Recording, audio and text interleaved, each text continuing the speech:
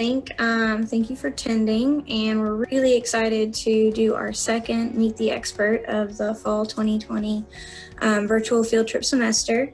Um, just some kind of housekeeping. As Carolyn said, if you have any questions, feel free to put those up in the Q&A. Um, we will be checking those. Feel free to also raise your hand. We will have a question and answer um, section at the end of our presentation. So um, we ask that you maybe hold your hands until that time. That way, we're not having to stop and break focus from Jason while he's giving us all of his awesome information. Um, so, with that, I will introduce Jason. He is um, a member of the Radiologic Science Department at NKU. He's actually the director, if I'm correct. Yeah, fresh, fresh uh, this semester. um, and we are very excited to have him here with us today. Um, so, I'm going to go ahead and um, start with my very first question What is radiologic science? So, radiologic science is a uh, profession that works with uh, radiation and specifically X ray and gamma radiation to produce medical images on patients who are coming in for various problems. Uh, so, there are a lot of different branches of radiologic science, uh, and we also have a couple of branches that come off of radiologic science that aren't really dealing with radiation. So when we talk about MRI or ultrasound, uh, technically those are branches of our profession, but they don't use radiation. So, but we still include them because they are medical imaging. Okay. Why did you choose this field? Oh, that's that's a good question. Um, so uh, initially, I started out uh, wanting to do pharmacy, and so that was what I initially started out in. And, and uh, the more that I saw of it, the less interested I became in it. And um, so I had a friend who was in the radiologic science um, program, and we just started talking. And I thought, hey, that's that sounds pretty interesting because it is a mix of um, it's a mix of biology uh, and chemistry and also technology, which I really like. So it actually mixes a lot of different things into it that uh, interested me. Uh, and um, I've been in that ever since. So I, applied and, and, been through that ever since. So you talked about um, switching your major and stuff. What was it like um, to be a student in that time? And yeah, so um, well, anytime that you're a student, I don't think that you realize it um, beforehand at high school, and, but you definitely do after you've been a student. But it's it's obviously a, a time that you're you're nervous.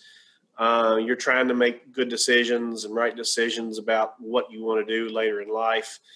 Um, and you know, I, I, can remember being that way, thinking to myself, especially when I went from pharmacy to radiologic science. I, I remembered that I, I really wasn't sure.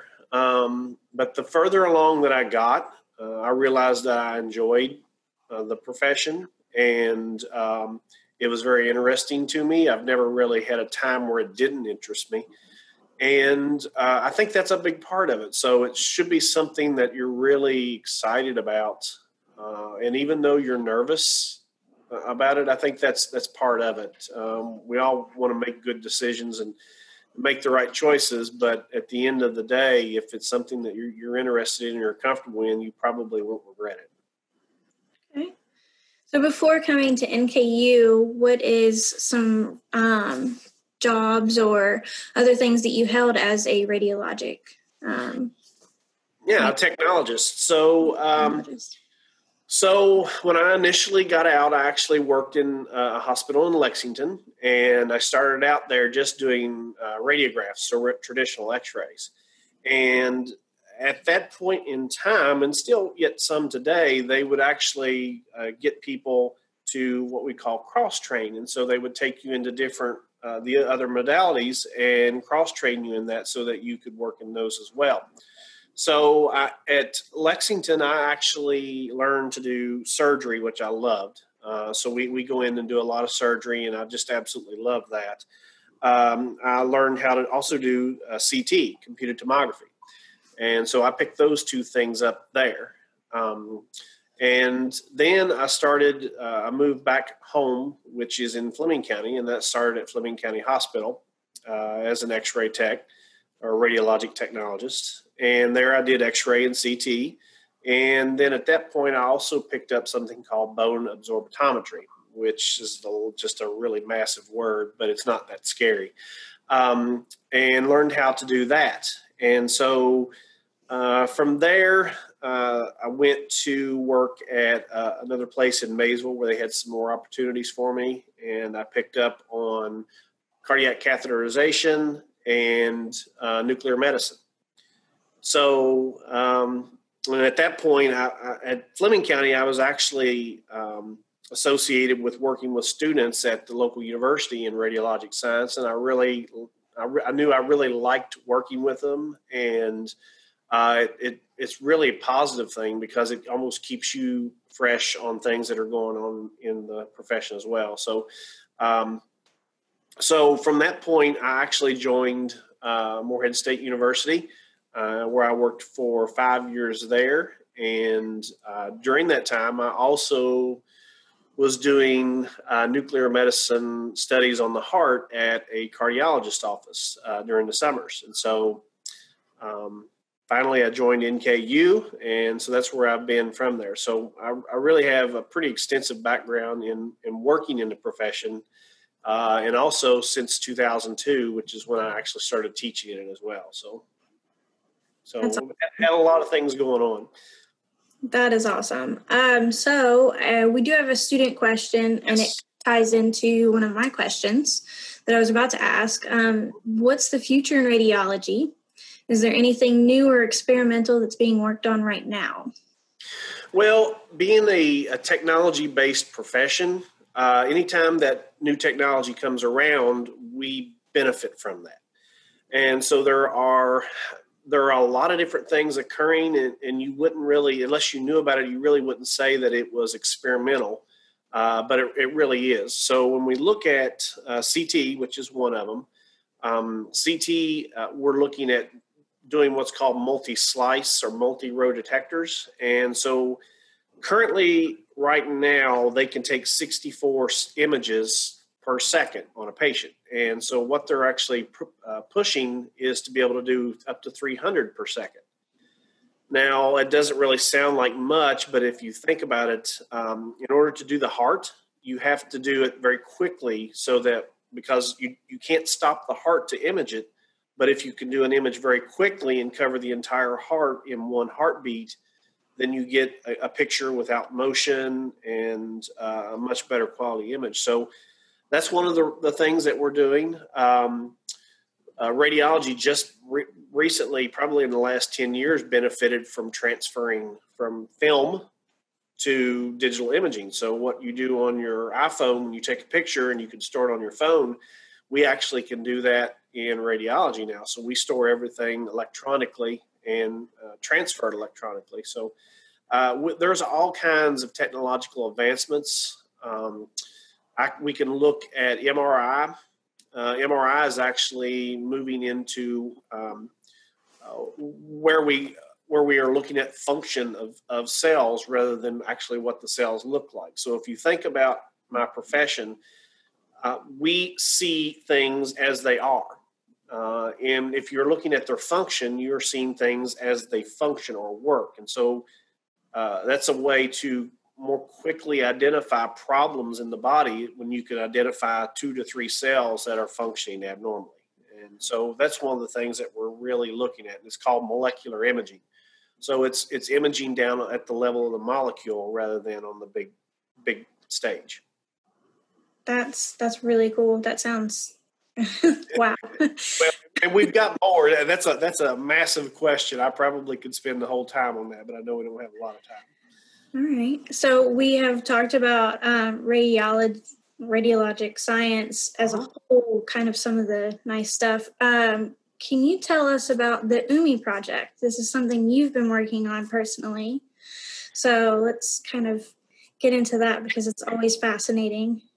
Yeah, um, it, it, mixes two of the things that that I really um, were fascinated with, and, and to this day, I'm still fascinated with archaeology. And uh, so I had uh, one of my associates approach me about, hey, would you like to do uh, a CT scan and imaging on uh, a mummy? And me, uh, being that my passion is also in archaeology, there's no way I could have turned it down. So we um, worked with uh, my colleague and we worked it with the Cincinnati Museum Center. And they actually have a mummy there that is about a three to five year old child uh, that they'd had in their possession for quite some time. And they were looking at putting that, the mummy on display for last summer. And so they wanted to do some updated imaging so that so they could put that in with the display. And we found, uh, my colleagues uh, found a way to include student learning with that process. And um, so uh, back in January of last year, we brought the mummy in. We had the Cincinnati Museum bring it in. It was uh, almost a parade to, to, come into the university. Um, when we wheeled the, the mummy into the, the building and the department, we had all kinds of eyes on us. We had a lot of media there uh, covering it. And our students got an opportunity to do both uh, x rays on Umi and just to, to see what's on the inside of his cartonnage, which is what he's covered in. And then since we recently got a new CT scanner, uh, we took him back to CT and we did our CT scan on Umi. And one of the outcomes that the museum wanted, and as well as us, was we wanted to um, take that information we got from the CT scanner and print a life-sized replica of what Umi looks like inside of the wrappings without actually opening them up. And so, since the university had purchased a 3D printer, that was the perfect timing and so we developed a way to scan the patient, uh, scan Umi. I keep calling him a patient. Uh, we developed a way to scan Umi and transfer that information into uh, a computer where we can manipulate it and produce a three dimensional, uh, a realistic image of what Umi looks like. And uh, if you don't, if you uh, want to, at the end, I've actually got images of it. So. Oh, uh, you're muted. uh, we do have a question. Um, yeah.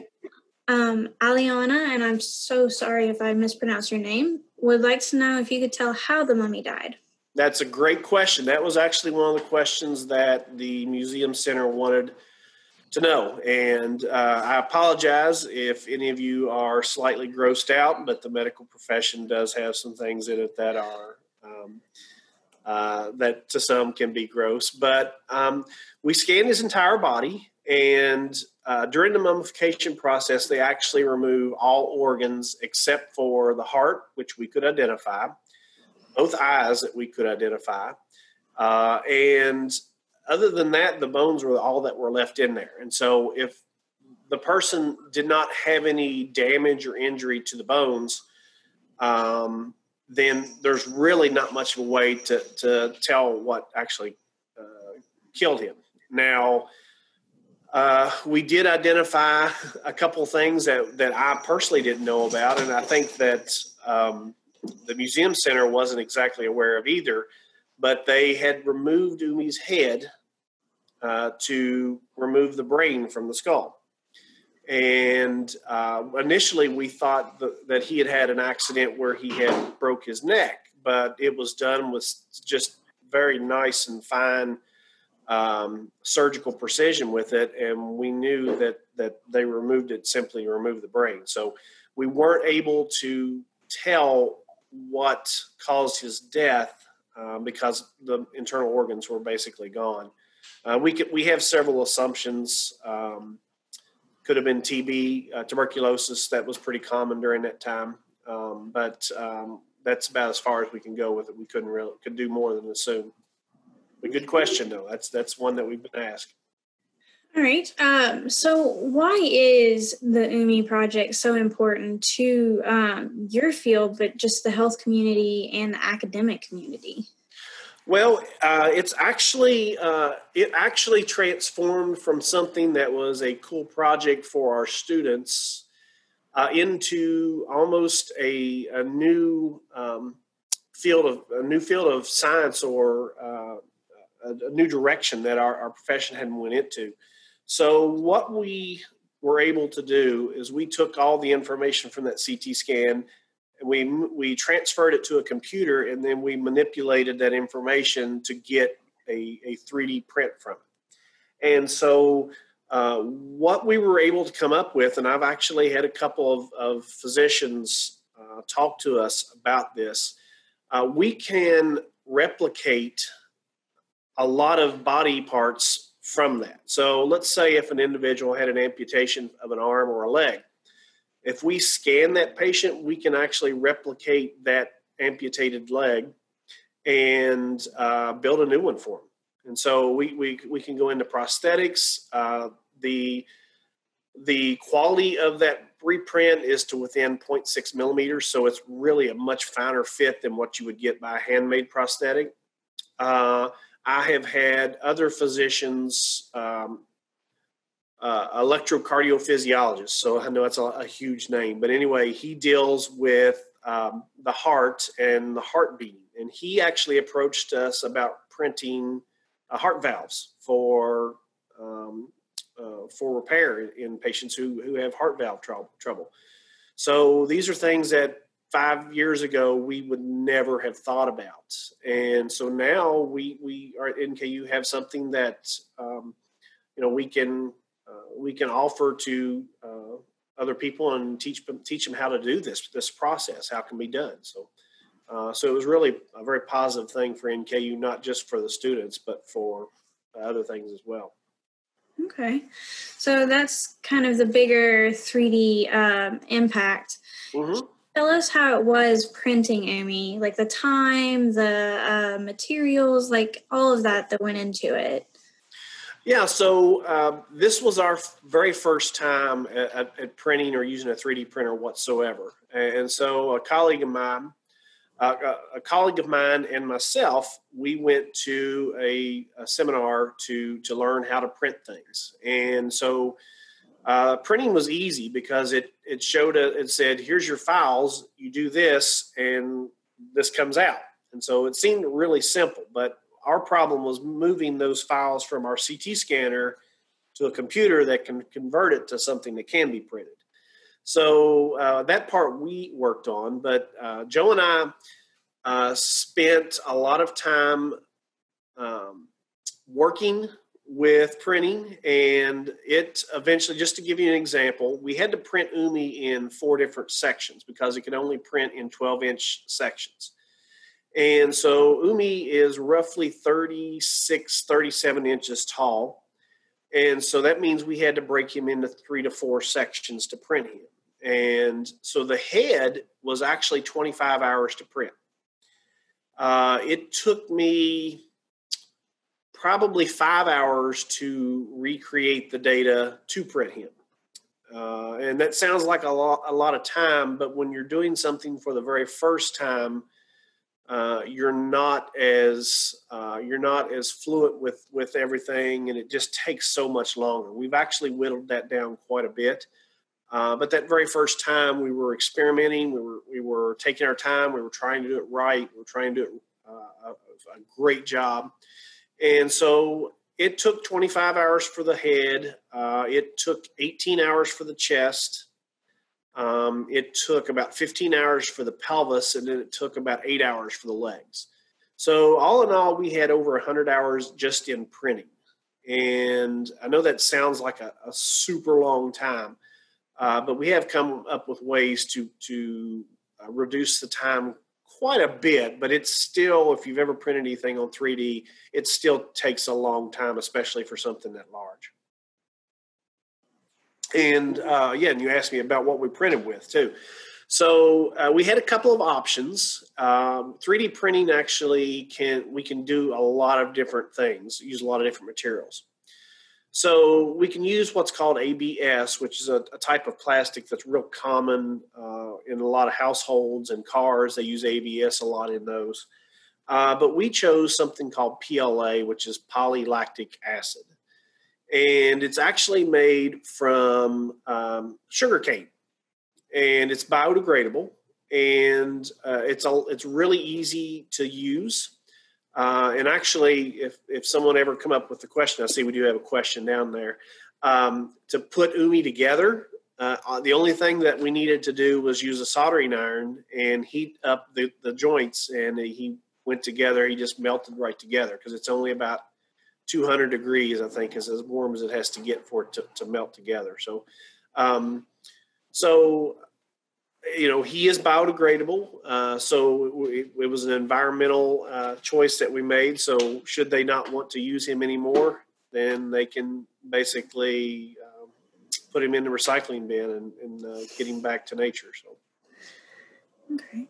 Um, so, what is the future for um, your Umi project, or is it is it come to its close, or is there more to still be done?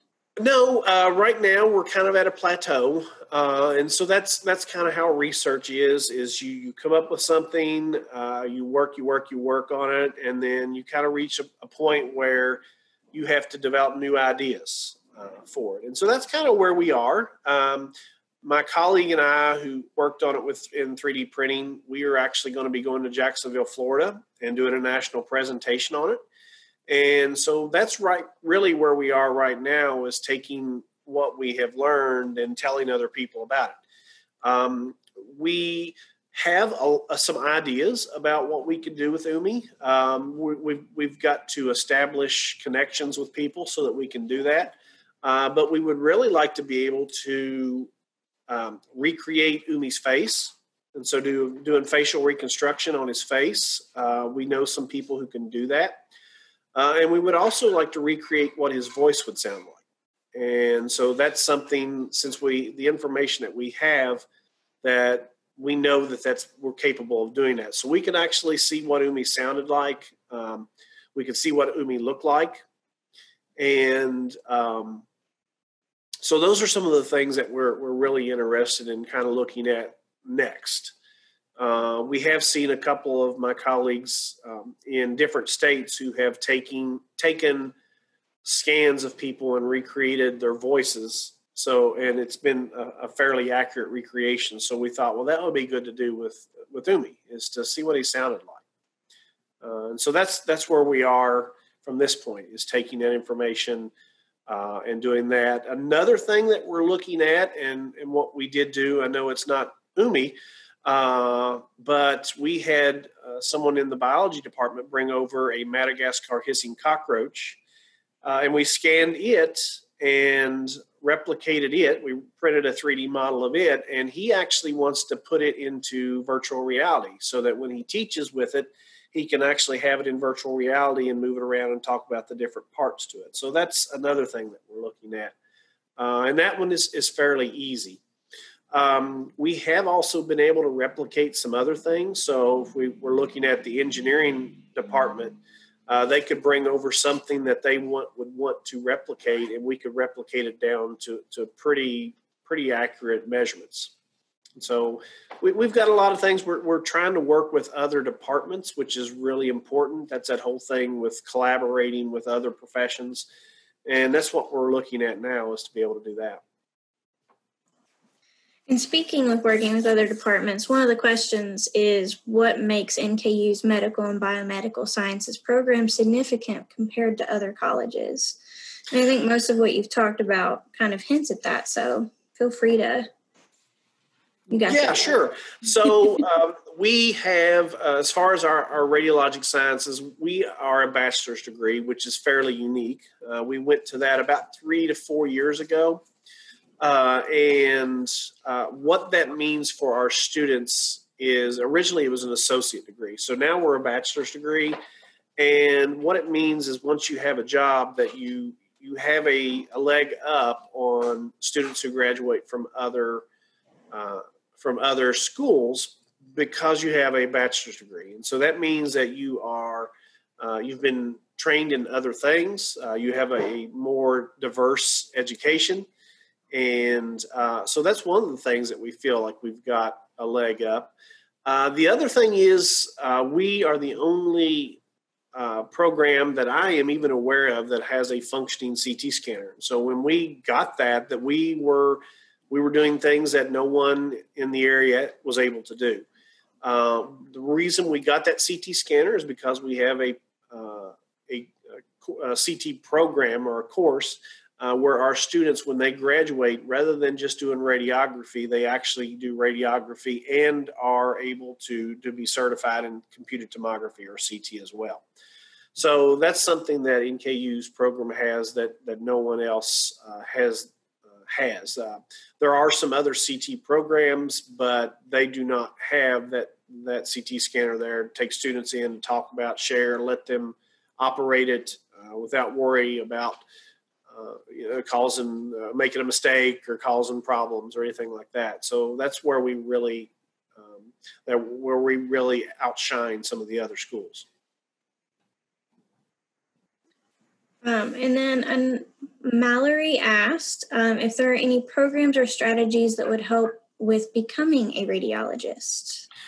Okay, so uh, Mallory's question is uh, a radiologist is asking about a radiologist, and just I want to make sure that we we clarify there is a radiologist, and then there's a radiologic technologist. Mm-hmm. So a radiologic technologist actually is is the ones who produce the images, who work with patients to uh, to get their images done, and the radiologist is the one who interprets those images. And so um, we are the level uh, the assisting that radiologist. Uh, a radiologic technologist works under and with a radiologist. Now, that being said, a radiologic technologist uh, easily can become a radiologist. Um, and so we, we, that we can be used as a stepping stone for that.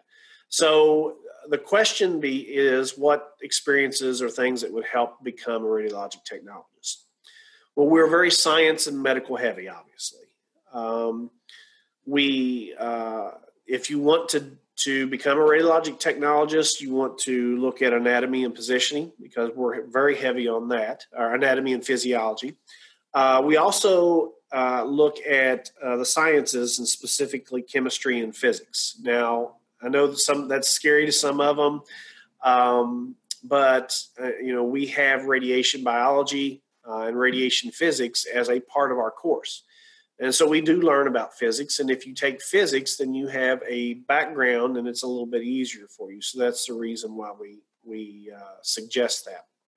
Uh, if you're interested in becoming a radiologic technologist, I would even uh, ask about shadowing at a, a, local hospital or maybe even a, a doctor's office that has a radiology um, department. Uh, the reason, and unfortunately, with with COVID nineteen and how we are now, that's a little bit harder to do. But sometimes you can call up the office and get that worked out, and, and they usually will allow you to do that for a day. Just kind of come in and see what's going on, what they're doing, and whether or not you you like that. Because uh, I think that's a big part of it. Is uh, you know some people have this idea of a profession, and then when they actually get to it and, and do it, it's not exactly what they expected. So it's a good idea to, to to shadow somebody and to see it before you actually go into it. And then to kind of tie back to the mummy, somebody asked how old was yes. Yeah, I caught I saw that earlier, so I uh, had that that answer ready for you. So uh, there are two ages that we want to talk about with Umi. Uh, Umi was a three to five year old child and we know that because of a lot of different things. We were able to see that the growth plates in the bones uh, hadn't sealed up yet. We were able to see adult teeth that had not came out yet, uh, so they still had baby teeth. Um, and so we were able to determine his age by that. Now, the other cool part of it, and probably what the question is asking about, is how old was Umi? And from the cartonnage and looking at things, how the burial was done, we are seeing Umi as being around 2,000 years old. So Umi was alive at about 100 AD, uh, which was a time in Egypt where, uh, if you've you've had your history lessons, um, we had uh, the Great Library at Alexandria. We had um, the actually the the lighthouse at Alexandria. And so um, Egypt was under Roman control. Uh, Cleopatra he it's possible he may have known Cleopatra. It's you know seen her or knew of her. Uh, so that kind of gives you an idea of, of the age of Umi. So we're we're talking 2,000 years old, uh, and that's about what was going on during that time frame. And then um, another question I had about Umi. So you um, talk about going to conferences, and I know for one of the conferences you went to, you had taken him. What was yes. it like transporting Umi? Yeah, that's a good question. So um, originally, when we we took Umi to Chicago uh, to present him up in Chicago, and um, so Umi is about like it's about 38 inches long, and so the best way to transport him was in in the sections that we printed him in. So I put him in a duffel bag uh, to go to the airport and fly, and I did have some eyebrows raised when we went through the scanners, uh, but I did tell them beforehand that I have a a 3D printed replica of a mummy in there, and so I did have some of the TSA guys not you know, not come at me as if I was doing something wrong, but they wanted to see inside the duffel bag. So uh, they were really, they said that they'd heard about Umi and they wanted to see what, what it looked like. And so we opened it up and we had a, a showing basically uh, to the TSA at the airport. Um, so, but we were, there were three of us traveling to go up there to do the presentation. So we were all a little concerned about carrying uh, a 3D printed body uh, through through airport security uh, because Umi is accurate. Uh, he had, all of his bones are printed. Uh, he is anatomically accurate uh, down down to the heart, to the eyes, all of that. So uh, it was a little bit nerve wracking at first. Um, and then we have one more question that'll kind of tie into this, and then we'll ask a, a personal sure. question, and then we'll release the gates for them to Okay. Ask all of the questions. So, uh, Trinity would like to know uh, whether working with archaeology is common for a radiologist. Um, I'm going to say, uh, I'm going to say, have to say no, unfortunately. Um, it, and it would depend upon where you are. I will tell you this, and it was a Trinity, was it? Is that okay? Uh, that that in Egypt they actually have Egyptian mummy radiologist. And so they may find a cache of 400 mummies and you know the hospital that's there basically they're going to get them to, to scan them and to x ray uh, they want to know who's in it um, you know what what status social status they had things like that. So if you're in egypt you probably would but here we literally have one mummy. And um, you know he get he got a lot of attention, but unfortunately, there's only so much you can do with one mummy around here. So uh, other things. Um, I have heard of them using radiology to to find what's in sealed jars, uh, and so uh, that that can happen. But again, we we don't have a lot of that occurring here. Uh, so it was a very unique experience. Uh, we don't work that closely. I do. I have made ties with Cincinnati Museum Center. Uh, I would actually had actually talked about uh, bringing over a dinosaur egg and scanning it to see what the fetus was inside of it. Um, so that would be paleontology that we were looking at. Um, we haven't, unfortunately, COVID nineteen hit before we were able to get that uh, accomplished. So maybe sometime next year we can look at doing that. But um, it you working at uh, a, a, university that has access to what we have, the equipment we have, we're able to approach the, these uh, professions and say, "What do you got? I'd like to help. I want. I want to. You know, we we want to learn from this, and we want to help you learn from this." So, um, so we're in that unique situation. If you're out working in it, you probably that's a once in a lifetime experience. Uh, you're probably not going to see that unless you worked in Egypt. Okay. Um, and then just to kind of follow up, just to kind of give more of a personable aspect, what are some of your hobbies outside of the academic field? Well, uh, great question. I've got uh, three kids. So um, right now, part of what I do outside is watching my daughter. Uh, I've got one daughter that's in college. She's actually looking to be a veterinarian. Uh, I've got another one who's in high school. She's a a big soccer player, and so we a lot of days are filled with going and watching soccer games. Uh, and then my youngest boy, he uh, loves sports, and so uh, we like to go watch University of Kentucky football, basketball games. Um, uh, I dabble. Sometimes I do some carpentry work. Uh, I can do electrical and plumbing, things like that. And so I kind of keep busy with, with that sort of stuff. So I, I, if you can tell by my background in in imaging, I just I learn a lot about a lot of different things, and so it, I'm kind of the same way outside of that. As I like to, if I see something interesting that interests me, I, I try to learn more about it. Whether it's you know uh, whether it's working with carpentry or whether it's working with 3D printing or whatever it is. So I, I just like to learn about different things when it comes out. And is there anything else you would like to tell us about yourself, your field, anything in those lines before we open up questions?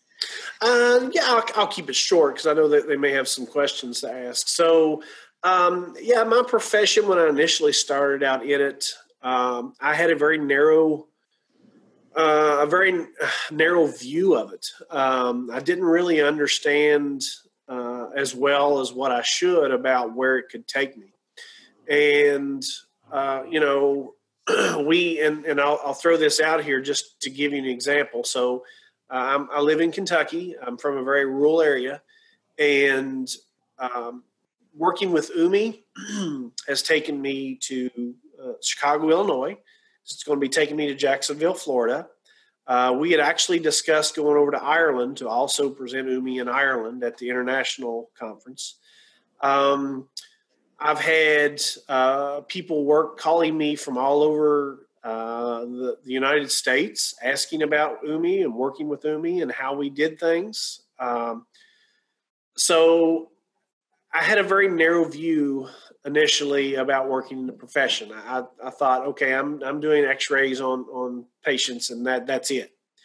And the profession is so much bigger and more wide open than that. Um, I can do X-ray. We can go into CT scan. I can go into MRI. I can go into ultrasound. I can go into bone densitometry. I can do surgery. I can do uh, orthopedics, which is working with bone. I can do nuclear medicine. I could go into cardiology. Uh, I could go in to be a radiology uh, radiologist assistant, which is a level in between the radiologic technologist and the radiologist, where I would actually be reading uh, patients' images and working with patients still at the same time. Um, and then at that, then I got the opportunity to come to NKU and teach, and so uh, then that opened up a whole other avenue. And so the profession isn't just I'm taking X-rays. There are there are so much other places that you can go with that, and you shouldn't really limit yourself to saying, "Oh, that's all I'm going to do," because in five years, your your your interests and your plans change, and there are so many other places that you can go just with that. All right, that's great. So um, now is time for students to begin really asking questions they may have. I know I threw in a couple throughout our thing because they kind of fit in with our subjects, but sure. feel free to start putting some questions in the Q&A or if you'd like, you can raise your hand and I'll um, make it available for you to speak. Um, but we already have two. So any advice for eighth graders, especially during this COVID-19 pandemic? Um, yeah, I'm pulling up the questions, kind of looking at them too, just kind of prepare for it. So uh, COVID, so any, yeah, COVID 19 has presented a challenge for all of us. Um, our students that are in our program are still allowed to go to, to hospitals to, to practice what we, we've been teaching them. Uh, but they are limited because uh, as a student, we have a responsibility for your health and safety, um, as well as your your growth uh, in the profession and learning about the profession. So um, our students are not allowed to work with COVID nineteen patients, and so that kind of limits what they're able to do a little bit. Um, but um, if I if you were very interested in learning about uh, the profession, I would start with the with the internet. Uh, you heard me mention about CT, MRI, ultrasound, bone densitometry, uh, cardiac catheterization. Um, start looking into those. Uh, I would I would go on the internet and look to see what that is. YouTube uh, is is fabulous because if you want to know about uh, something, there's a YouTube video describing it or showing it to you. So uh, you know if you if as long as you type in the right information about YouTube, you can probably pull up and get a better understanding of what's actually going on. Uh, if you look up uh, radiologic uh, anatomy, uh, anatomy and positioning in radiology. Uh, there probably will be students on there who are showing you how to do certain positions in radiology, and so we we would have students who posted on YouTube that so for grade, and so there's a lot of different ways um, that you can kind of learn about it. Uh, if you know someone who works in the profession, talk to them. You know, ask them a question. Don't be a, don't be afraid to talk about it because they will be more than willing to share uh, share it with you. Uh, I see one here. Uh, is that okay? How Yeah, hard is your. How hard is your job? Okay. All right. So every job is a challenge at some point. Uh, it, it doesn't matter. Uh, there are things about your job that you love and are easy and that just come just super easy. And then there are parts that are challenging. And what is hard for me may not necessarily be hard for someone else. Uh, but I will tell you about some things uh, that were, were a challenge for me. So initially, I mentioned to you that I went from Fleming County Hospital to Maysville Hospital. Um, and one of the reasons for that is that uh, we had uh, some some children come in, multiple, uh, in different episodes that uh, they had gotten into, uh, they'd had injuries, and that was really difficult for me to deal with, especially since I knew the, the people. Uh, they were from my community, and it happened in about a three month period. We saw a lot of stuff going on, and so that was really difficult for me to digest. And so that was a hard part of the job. And I know that Tristan, whenever she was actually asking it, she was probably asking about academically or physically. Um, the program is, I like to use the word challenging because if when I mentioned to you about radiation or radio, radiation biology, and then we talk about radiation physics, those are courses that have a challenge to it. And so that's the reason why you should really prepare for that challenge. When you're prepared for a challenge, and I like to say this to my students, uh, if you think about it, what if you had a school bus that had a wreck and student and you had 30 students come into a hospital that's only able to deal with five students? Believe it or not, that hospital is still capable of dealing with that because they plan for chaos. And so if you plan for challenges, then you're ready for the challenge and you can face it a little bit easier.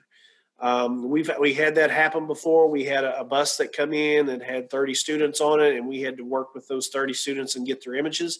But we had a plan for it. We knew how to, to, to deal with that, and so we planned for chaos, and that makes it a lot easier to deal with. So, uh, is it difficult? Yes, I, you're not going to find a, a job that uh, that isn't. But if you're interested in it, it makes that challenge easier. If you're if you have an interest in it and you have a drive in it, it's going to be easier for you. But that's a good question. Uh, how would you use radiology when dealing with nuclear medicine? Aha, okay, great question. So they're actually tied to each other, but they're they're totally different.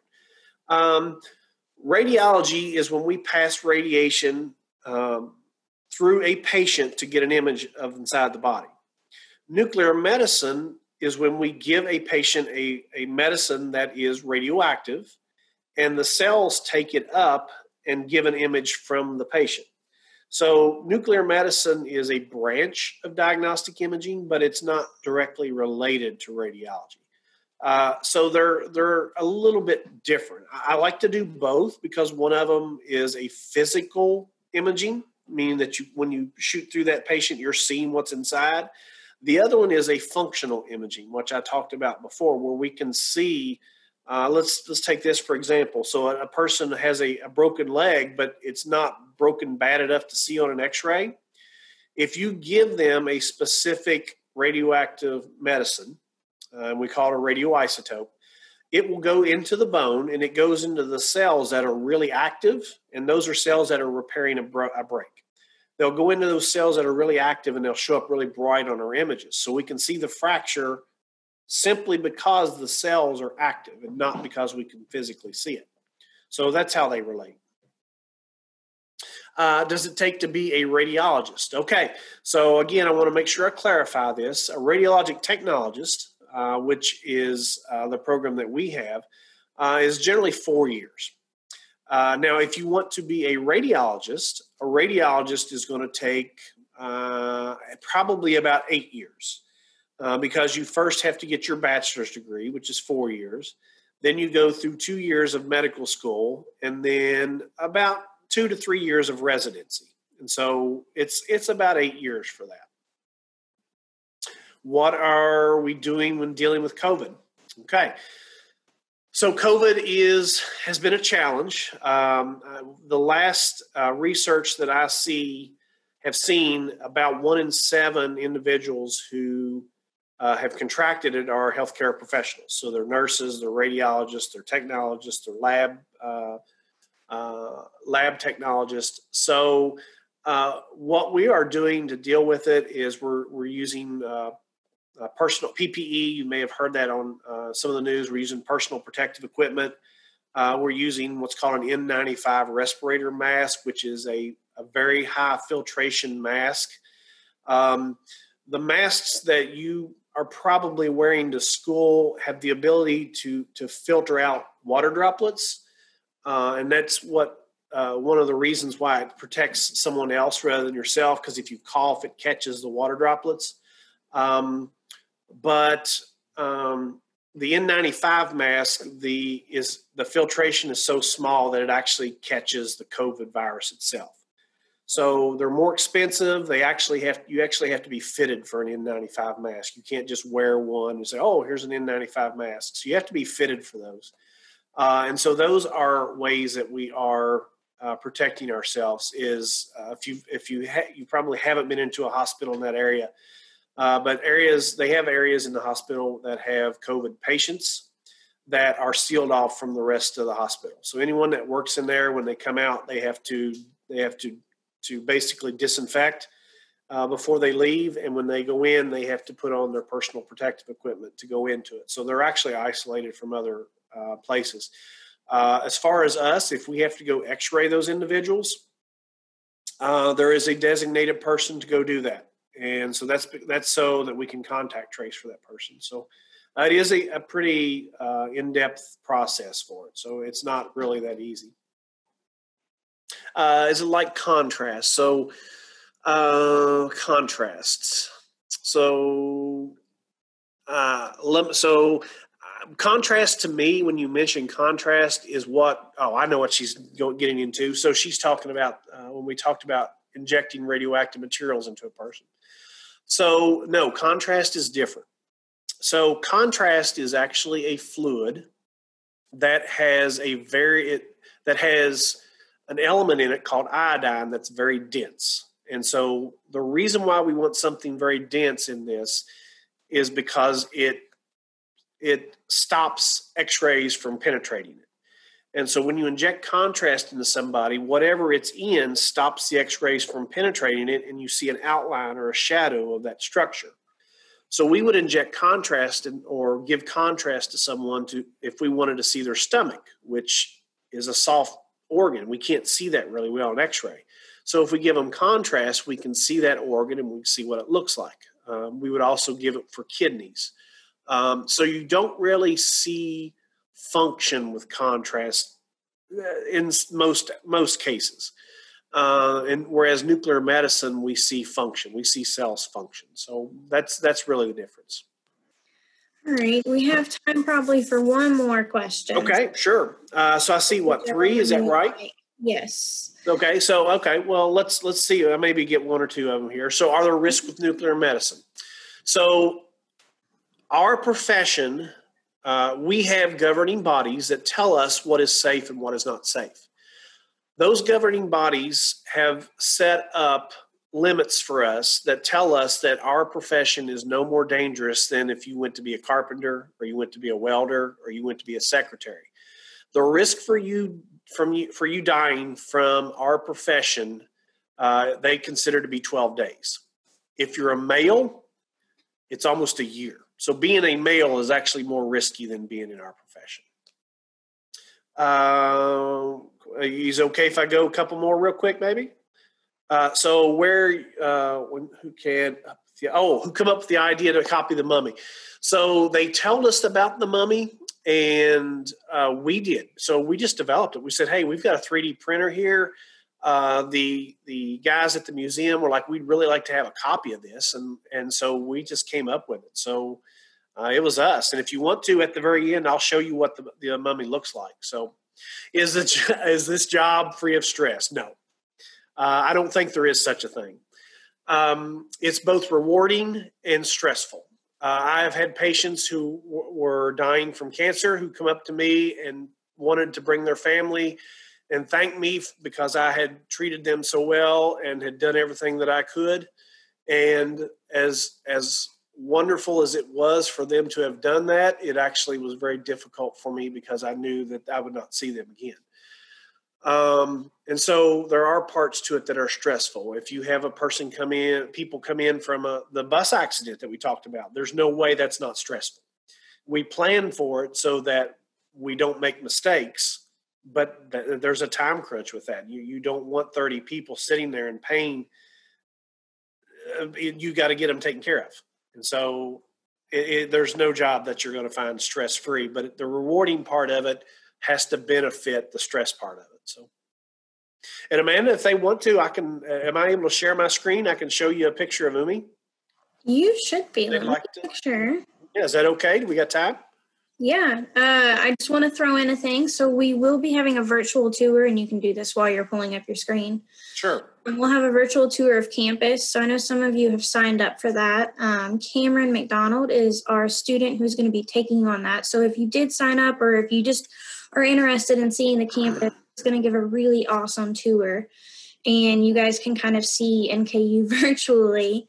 Um, if you just stick around, um, she is here and ready. So when we are done with Jason, you guys will be able to take that and do that experience as well. So please stay if that was something you were interested in.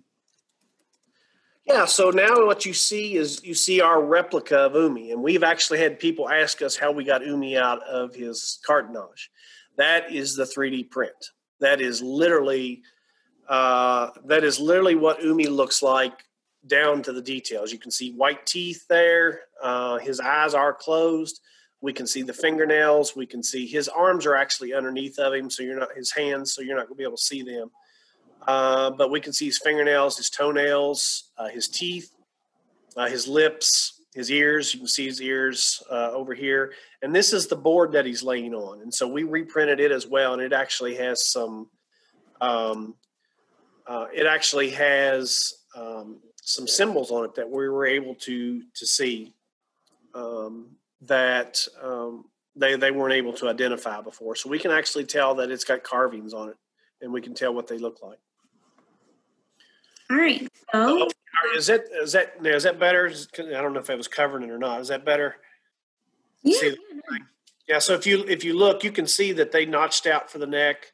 Uh, this board was made specifically for Umi, um, and it, it was actually very interesting just to see to see what all they'd done for it.